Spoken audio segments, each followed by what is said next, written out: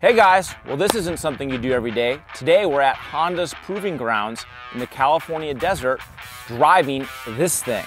It's called Honda's Mean Mower and it's the world's fastest riding lawnmower. I know it's kind of crazy.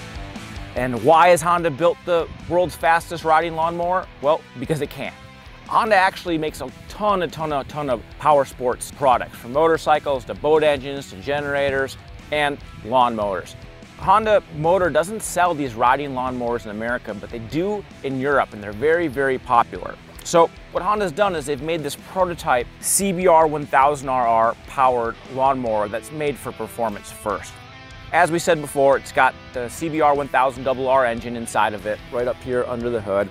2017 spec engine, so it's the current model. Last time we dynoed it in the motorcycle, it made right around 150 horsepower. Because of packaging, because you can fit a larger airbox because you have extra room, this thing probably makes more power just because it has a more robust induction system due to the space.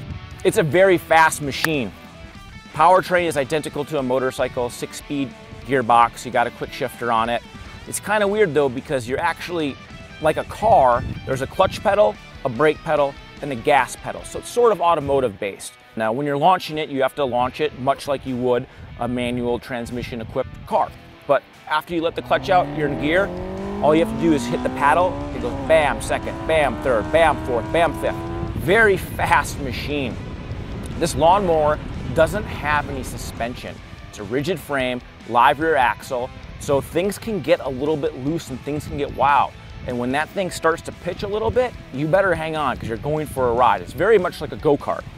There's no safety restraint systems, there's no seat belt, there's no airbag, there's no traction control, there's no nothing. This is a very, very visceral and raw machine.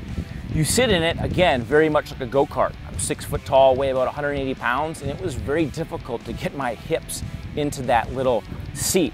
But with a little bit of manipulation, a little bit of sliding, you get in there. When you're locked in there, you are in a committed riding position it's a really fun machine by Honda. It accelerates really fast, has pretty decent brakes, just the sound of that CBR 1000 RR inline four and the rush when you're mashing through the gearbox. It's a fun machine to ride.